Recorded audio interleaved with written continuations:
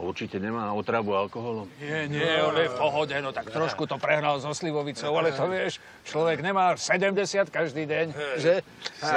Bába, takto slope, no. takto sa ožrať na 70 Celé auto z toho smrdí. Ale chlápe, prestaňte o jeho hovarať. Tak hovoráte tak, ako keby tu nebol. Veď je oslavenie. Oslavenie. Oslavenie. Presne oslavenie. No moment, moment. Koľko ste hovorili? 70 Hej.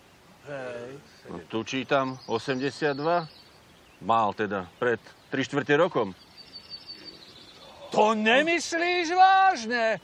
Verino, teda my sme oslavovali a ty nemáš ani sviatok?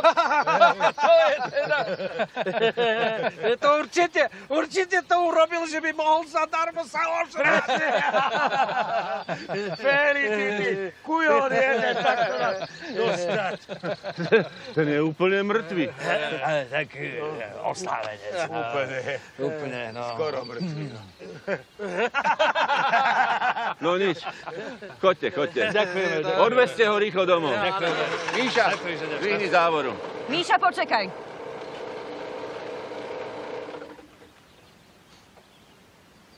Kto pil? Feri, Feri, Feri. Feri, Feri. Čo pil?